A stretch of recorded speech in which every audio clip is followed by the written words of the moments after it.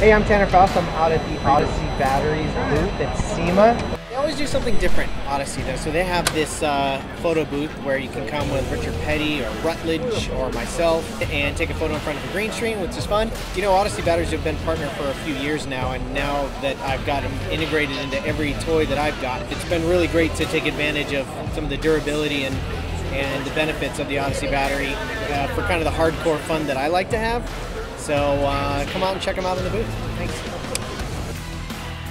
I'm Rutledge Wood. I'm one of the co-hosts of Top Gear US on the History Channel. Today was so much fun to, to be at the Odyssey Battery booth and to see so many fans come up and talk about Top Gear, talk about Lost in Transmission.